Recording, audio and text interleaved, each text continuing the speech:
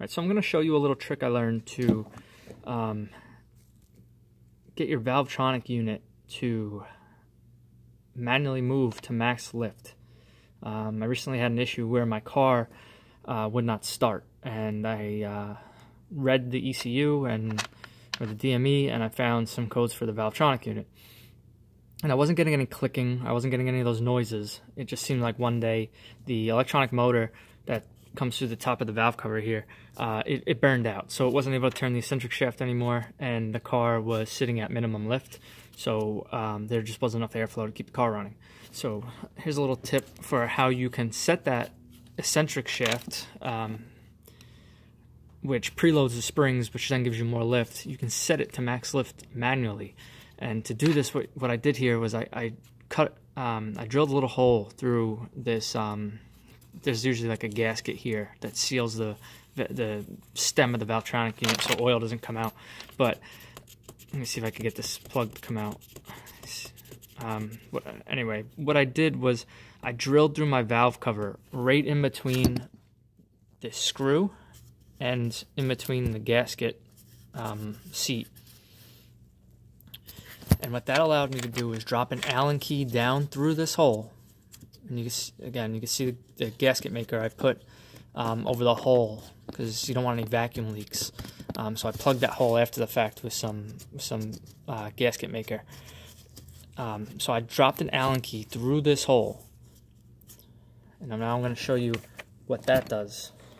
You have to be very careful.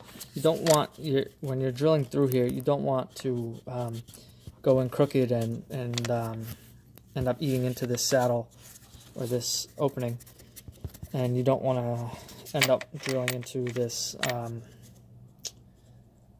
this seat for the, the bolt here. So you want to make sure you keep your, your um, drill bit very straight and centered and then slowly step up the size of the drill bit um, one size at a time until you get all the way through and um, you can drop that Allen key through. Okay, so now let me show you what this is doing.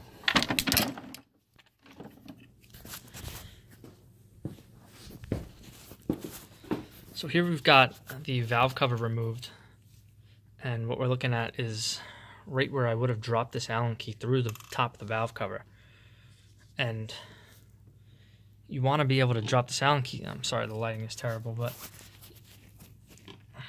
basically what Valvetronic is doing and this shaft, this eccentric shaft, is that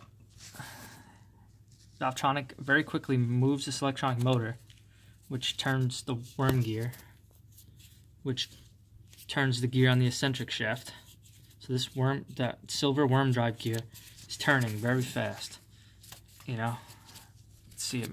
It's hard to see it um, moving, but you get the idea. So as this shaft spins, basically just like a cam, there's lobes on the eccentric shaft which are pushing on intermediate levers. So instead of like a traditional rocker arm um, you've got an intermediate lever, this, this lever right here. So this is the, the support, the eccentric, um, the intermediate lever ledge or support. This is the intermediate lever. And you can see there's a roller, um, there's a roller at the end of the arm because it moves on that support. And then it rocks the arm to push the valve or the valve spring down. So when this eccentric shaft spins to max lift, and this eccentric shaft goes, this gear goes up, these lobes move to max lift. See, there's a, they're not round, they're oval, which pushes on that lever. You know, gives it more of a fulcrum point, uh, more leverage. So it pushes on this lever, and you essentially get more more preload on that spring. So when the intake cam rotates, now you've got um, more lift. Because there's only so much lift you get out of the lobes on the intake cam. So what we've done is drill the hole through the valve cover to drop this Allen key through so that we can manually rotate the eccentric shaft to max lift.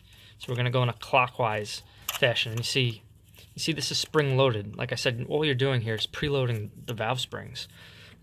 Um, So as I move this, rotate this Allen key clockwise and move toward max lift, you can see the gear coming up. Um, barely because of the lighting, but you can see the gear is now higher and higher. And, and this happens in, in milliseconds when the car is operating. But and you see what just happened there.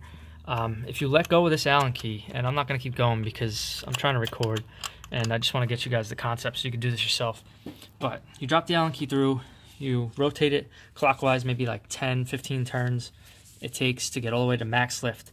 And then there's a flat spot on this lobe, so it should sit there at max lift when you finally get there. You won't have to worry about holding this anymore. But until you get to max lift, you do not want to let go because that spring, that tension, it's gonna, this eccentric shaft will whip back. This eccentric shaft is gonna whip back to minimum lift. And there's stoppers here. And that's what the computer's doing. When every time you turn on the car, the car, this stop hits this. There's a, there's a stopper that sits in here. And every time you start your car, the, the computer runs very quickly the eccentric shaft from minimum to maximum, where it hits that stopper and then hits the stopper on the maximum side. So if you let this tension go, you can end up snapping this stopper off and then you're screwed. Then you have to take the valve cover off, you have to replace the shaft, and it's not gonna be cheap, it's not gonna be easy. But what your goal here is, is to set this all the way to max lift, let it sit there, plug up that hole you just made, and then unplug the eccentric motor. Do not plug it back in. The car will stay at max lift now, It'll control airflow with the throttle valve. And it's going to run just fine. Might idle a little funky because you're at max lift at idle. Um, might need a little bit of tuning for that. But I ran my car for months like that, almost a year, and didn't have any issues. So hopefully this helps someone out. Hopefully this gives you the idea of what exactly you're doing here by, by doing this. And um, that's about it. Let me know if you have any questions.